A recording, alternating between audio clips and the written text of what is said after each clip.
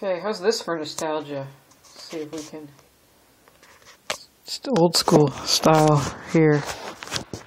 Oh yeah. Let's uh.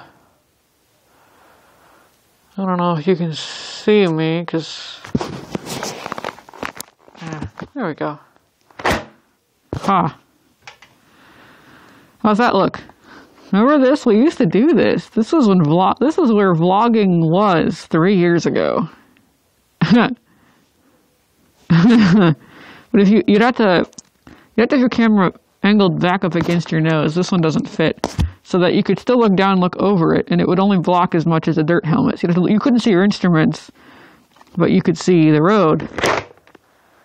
but this one doesn't. My nose is too big, and the thing isn't deep enough. It'd have to be like, and I obviously can't see right now. I can see like this. I think you're just staring at my chest. I had to look up and now I can't see you, so this wouldn't work. Unless some guys, uh, Iroquois used to do it like moto vloggers do it awkwardly. Like he did something like this. But he swore he could still see, but I don't know. Well, yeah, we used to have our. If I do sideways, like that, I can't see.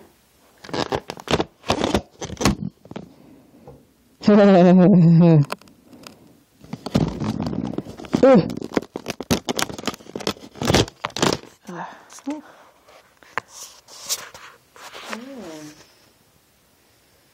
Mm.